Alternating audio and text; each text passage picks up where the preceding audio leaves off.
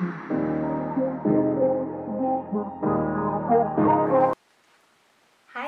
ich habe heute ein Flop-Video für euch, also Sachen, die ich lang genug ausprobiert habe und sie mir einfach überhaupt nicht gefallen möchten. Und da fange ich einfach querbeet an. Und los geht's. Und zwar fange ich an mit einem Lidschatten von Astor. Das ist Farbe 140 Pearl Salmon. Ähm, die Farbabgabe, also es ist ein rosa, aber die Farbabgabe ist einfach, ja, also sie ist da, aber es ist eigentlich eher ein Weiß. Also es hat nichts mit Rosa zu tun. Für mich ein Flop-Produkt. Dann, das war jetzt eine Limit, in der Limited Edition. Das ist äh, so ein kleines Objektiv, was man sich auf die Kameralinse machen kann, also Handylinse. So sieht das aus. Hier kann man dann das Handy dran machen und hier ist dann das Objektiv drunter. Und das gab es in zwei Variationen, ich glaube einmal in Fisheye und einmal in Wide Angle. Und ähm, es ändert so gut wie nichts, also flop. Dann habe ich hier zwei Lip Liner. Einmal ist das der Max Factor in der Farbe 14 Brown Nude. Ähm, der hat überhaupt keine Farbe, aber ich kann machen, was ich will. Und der hat einfach eine Farbabgabe. Und für den Preis mh, überhaupt totaler Flop. Dann ähm, sozusagen dasselbe Phänomen auch bei Astor, bei Lip Liner Pencil 020 Cappuccino. Da kann ich machen, was ich will. Und irgendwann mal, wenn ich ganz fest auftrage, kommen so leichte Spuren. Also definitiv überhaupt keine Empfehlung. Dann habe ich ähm, zwei Wimpernserien. Einmal vom P2 das Reneview Lash Serum in der Farbe 01 Secret Solution. Das hat hier so ähm, Wimpernbürstchen. Es ist mh, mm, durchsichtig bis weißlich die Farbe. Ähm, trägt man sich auf wie eine Wimperntusche nachts vorm Schlafen gehen. Ich persönlich habe jetzt überhaupt keinen Unterschied gemerkt, daher würde ich es auch nicht empfehlen. Genauso wie das Lash Boost Lash Growth Overnight Serum von Catrice. Ähm, das sieht so aus, habt ihr bestimmt mal gesehen. Ähm, Finde ich persönlich genau derselbe Schrott. Das hat so einen Eyeliner-Applikator, ganz normal und ähm, trägt man sich halt äh, über die Wimpern auf und auch nachts vorm Schlafen gehen.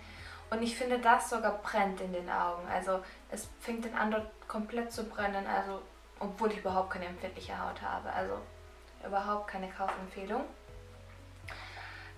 Dann äh, ein Eyeliner von Planet Up mit einem Filzstift-Applikator. An sich ähnelt der, finde ich, sehr persönlich den Superliner von äh, L'Oréal Paris. Aber, also an sich ist der, ja, also er ist ziemlich wässrig, also der trägt keine sauberen schwarzen Linien auf. Und ähm, ich kann einfach nicht mit äh, Filzstift-Applikatoren äh, arbeiten. Also mir Liquid Eyeliner definitiv viel, viel, viel lieber. Ich wollte es einmal austesten und nie wieder. Definitiv nicht. Dann habe ich eine Wimperntusche von Max Factor, der Voluptuous False Lash Effect. Sieht so aus. Ähm, der Applikator, also die Bürste, ist sehr merkwürdig. Also sie ist extrem groß. Und ähm, ist geschwungen, also nicht geschwungen, sondern jetzt so Wirbel äh, in sich drinnen. Aber ähm, ich würde sagen, der macht die natürlichsten Wimpern, also das, das sieht man überhaupt nichts. So. Also in diesem Video gibt es überhaupt keine Kaufempfehlung, um das mal kurz festzustellen. So. Dann, ähm, bevor ich weitermache, ähm, noch eine letzte dekorative Kosmetik und zwar das ist jetzt von Essence. Das ist sehr, sehr, sehr alt und ich habe es mal eine Zeit lang benutzen wollen. Sah grausam aus. Habe es meiner kleinen Schwester gegeben. Sie hat es eine Zeit lang benutzt. Mittlerweile, da sie jetzt sich auch ein bisschen mehr so mit Make-up auskennt, findet sie es auch grausam. Und zwar, das ist von Essence, das Ice Ice Baby Shimmer Powder. Ähm, das ist ein Highlighter, beziehungsweise ein Shimmer Powder und ähm, der ist komplett weiß. Also, wenn der keine Glitzerpartikel hätte, würde ich ihn als Translucent Powder benutzen, aber ihr könnt ihn eh nicht mehr kriegen, also sowieso ein Flop. Dann ist es von Ebelin der Pinselreiniger. Ähm, ich habe mir ehrlich gesagt viel mehr darunter vorgestellt. Ich dachte, man kriegt die Pinsel wirklich super sauber. Und ähm, ja, das ist es definitiv nicht. Man sprüht damit auf die Pinsel, kann dann ein kleines Wattepad nehmen und da so kurzfristig, wenn man mal ganz schnell was sauber machen möchte, bevor man jetzt von einer Lidschattenfarbe in die andere geht, gerne mal kurz den Pinsel nass machen möchte und sauber machen möchte, ja, ist es in Ordnung, aber ich würde es mir nicht nochmal nachkaufen. Dann jetzt mal bin ich komplett fertig mit der dekorativen Kosmetik und zwar, das ist von Dr. Beckmann, der Express Fleckenstift. Das ist der größte Kack, den ich je gesehen habe. Da würde ich definitiv den von Deck mit von der DM Eigenmarke empfehlen, weil der ist viel besser. Der reinigt auch wirklich. Aber der von Dr. Beckmann würde teurer ist als der von der Denk mit.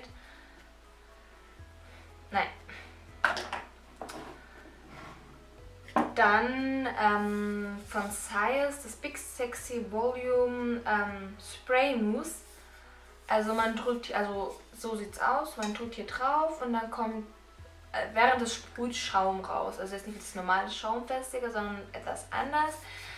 Ähm, von der Konsistenz her ist es, finde ich, für meinen Geschmack einfach ein bisschen zu flüssig. Es ist ein, man kann es nicht so gut verteilen wie ein Schaum, weil es nicht so, so, eine, so eine Dichte hat. Und das ist halt so flüssig, also dadurch werden die, die Haare so strähnig, also die bleiben gleich aneinander kleben und du kannst gar nichts mehr damit anfangen. Daher keine Kaufempfehlung. Dann, das habe ich schon sehr, sehr lange. Ich glaube, so gibt es das gar nicht mehr. Das ist von L'Oréal Paris, Studie Seide und Glanz. Für, ähm, das ist halt ein Antithermoschutz ähm, fürs Glätten und ähm, also es ist so eine Creme-Konsistenz. Also dies, das ist auch, glaube ich, voll, ich glaube, es ist noch so voll oder so. Aber ich habe es einfach so oft ausprobiert und da soll man ungefähr so nie eine Haarlänge mh, nussgroße ähm, Portion auf die Hand geben und das in die Haare verreiben. Aber ich finde, die Haare sind danach ziemlich fettig. Also dann von Balea das Bodyfit Push-Up Serum ähm, das soll die Haut straffen, äh, hat Koffein drin, Zitronenbambusester, bla bla bla. Es ist von der Konsistenz gelartig, ähm, riecht ja ein bisschen zitronenhaft, nichts Besonderes, aber ja, mehr außer so einem. Es ist, lässt die Haut, also die Haut ist danach vielleicht ein bisschen weich, weil man ein Serum drauf gegeben hat, aber jetzt so ein Push-Up Feeling oder so hatte ich jetzt persönlich nicht. Und aus derselben Reihe gibt es jetzt auch, äh, also gibt es schon sehr lange, von Balea das Bodyfit Cellulite Gel Creme. Und ähm, eigentlich genau dasselbe, was ich vorher zu dem anderen Produkt gesagt habe. Also überhaupt kein Unterschied. Ich habe gehört, dass diese Bandagen, die aus derselben Reihe sind, gut sein sollen. Das habe ich noch nie ausprobiert, aber die beiden würde ich an sich selber wirklich nicht empfehlen. So, dann wäre ich auch durch mit meinem Video. Ich merke gerade, ich schaue immer in meinen Videos in das kleine Bildschirm rein, tut mir leid. Ähm, dann wäre ich jetzt auch mit meinen Flop-Produkten durch. Ähm, ich würde mich freuen über einen Daumen nach oben oder wenn ihr mich abonniert. Und ähm, dann sehen wir uns auch so bis zum nächsten Mal. Ciao, ciao!